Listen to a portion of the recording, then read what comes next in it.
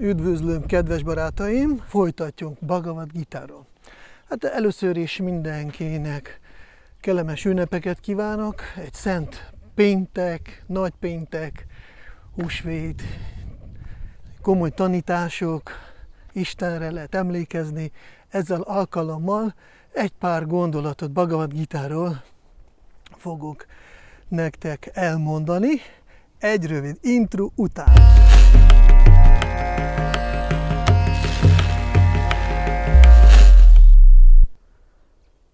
Oké, okay, akkor itt vagyunk, és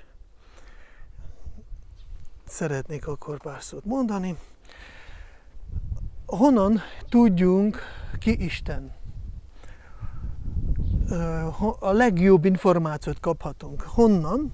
Ez egy kérdés, és ma a Bhagavad Gita alapján megnézzünk, hogy Bhagavad Gita-ban esetleg van ilyen információ. Mert nagyon sok ember van, aki próbál kitalálni, meditálni, elkapni, elmenek az űrbe rakétákkal, hát ha ott meglátják Istent, a nagy filozófusok szőnek a gondolatokat, ötleteket, és akkor próbálnak elkapni a gondolat szövevényének a hálójában. A jogik, akik misztikusok, gyorsan tudnak haladni gondolat sebességgel, ők se tudnak elkapni Istent. És ezért sok vélemény van emberek között, hogy milyen. Bhagavad Gita-ban pedig negyedik fejezetben maga Isten maga, magáról beszél. Hát ki tudja legjobban róla, ő kicsoda és milyen, hogyha nem ő. És ahogy minden egyes nemes ember, nemes nevelésű ember nem fog beszélni saját magáról, sosem, mert alázatos. Isten, ő is Uri Isten, Krishna, ő alázatos, de mivel Arjuna ott a negyedik fejezetben ő kérdezi, feltette egy kérdés, ahol érinti az, hogy te akkor ki vagy valójában. Mert vannak vélemények, valakik gondolják, hogy ő egy hős, egy nagy személyiség volt. És akkor kérdezi Arjuna, hogy te ki vagy. Mert előtte, elején negyedik fejezetben Krishna mondta, hogy én már meséltem többször Bhagavad Gitát, voltam más bolygókon, te is ott voltál, és akkor, akkor Arjuna gondolja, hát akkor hogy, hogy, hogyha én is ott voltam, miért én nem emlékszek, és te emlékszel? ki vagy te, meséld meg, meséld nekem, mi a különbség te és én között, és a saját természetéről.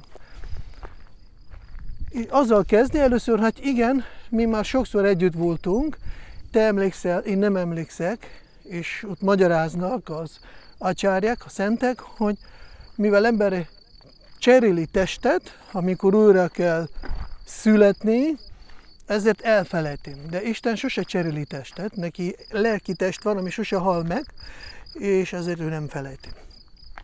Lényeg a lényeg, hogy a Bhagavad Gita negyedik fejezet elején ő kezd mesélni a saját természetéről, hogy én vagyok megszületetlen, hogy nekem vannak energiái, van belső energiám, van külső energiám, és a belső energia által megjelenek ebbe a világba. Ez a negyedik fejezet, ötödik vers, a Jopisan Avyayat Ma. Azt mondja, hogy én megszületetlen és öröki vagyok. Mégis a saját akaratomból kegyesen, hogy adja kegy, kegyet élőlényeknek, és ezért meg fogok nyilvánulni a belső energiám által. Ezt tanítja a Bhagavad gita a negyedik fejezetnek az eleje. Utána elmondja a célukat, vagy ókat miért jön, mondja, hogy azért, hogy emberek ne találjanak ki, hogy én ki vagyok, hogyan nézek ki, mit csinálok.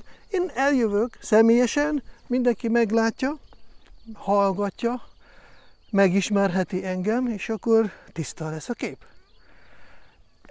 Utána mond egy nagyon fontos dolgot, ami állítják Srila Prabhupát, aki fő fordító a Bhagavad Gita-nak, és ő írta zseniális magyarázatokat hozzá. Ő azt mondja, hogy van Bhagavad gita a legfontosabb vers. Ez a vers, ez úgy hangzik, Janma karma chamedivyam evam javeti tatvata tyaktva deham punarjanma nati mameti szarjuna.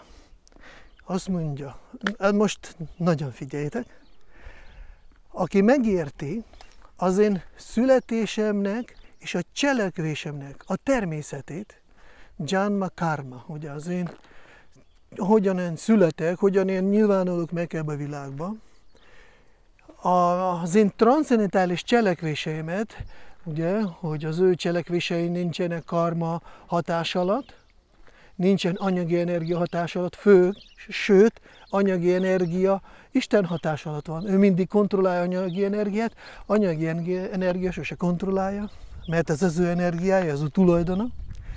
És ezért azt mondja, aki ezt megérti, Tyaktva deham punarjanma nati maimeti saurjuna. Olyan ember megszabadul minden szenvedéstől, boldogtalanságtól, minden rossz tulajdonságtól és karmától. Ez a lényeg. És ezért Prabhupád mondja, hogy ez a vers Bhagavad gita a legfontosabb.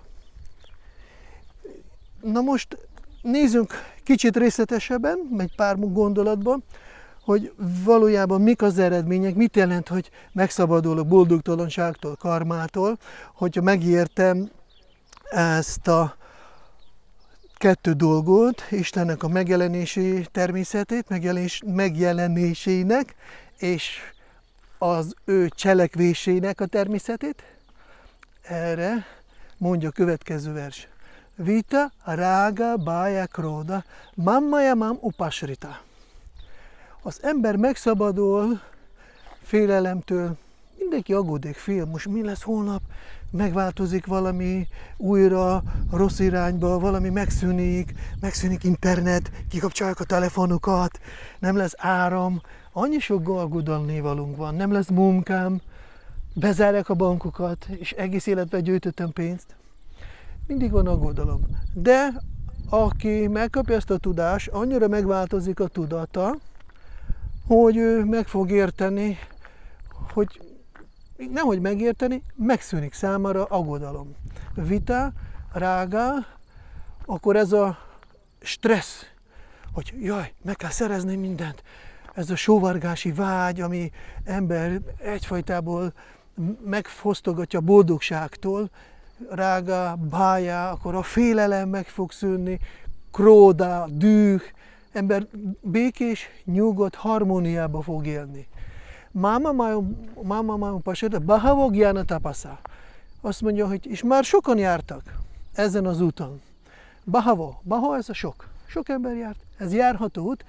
Így mi veletek, hogyha megyünk ezen az úton, picit csak kipróbáljunk, kicsit korábban, harmadik fejezetben Krishna azt mondja, próbáld ki. Sválpamasya, dharmasya.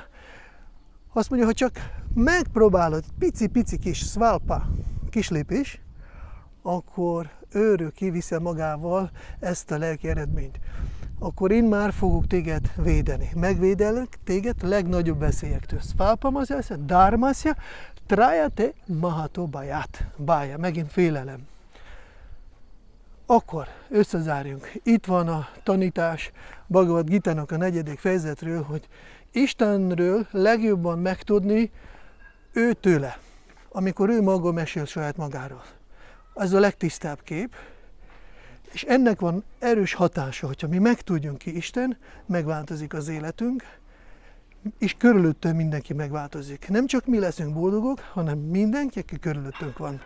Így működik ez a csodálatos könyv, és ez nagyon gyakorlatias, lehet próbálni, gyakorolni, és legyetek boldogok. Kellemes hétvégét kívánok, kellemes húsvéti ünnepeket kívánok, és akkor majd még folytatjunk, és majd még sokat találkozunk. Még egyszer köszönöm szépen, és akkor Hare Krishna!